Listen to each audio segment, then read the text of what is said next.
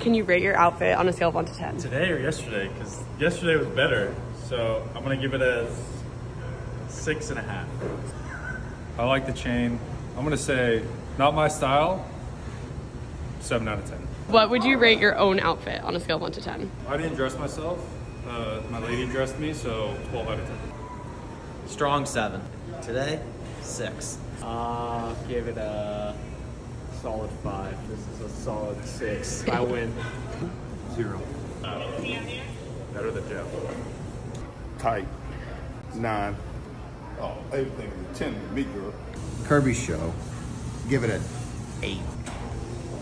A seven because I gave him an eight. One for effort. Me. Solid seven. Oh, I really like it. Ten. My outfit, I give it uh, maybe six.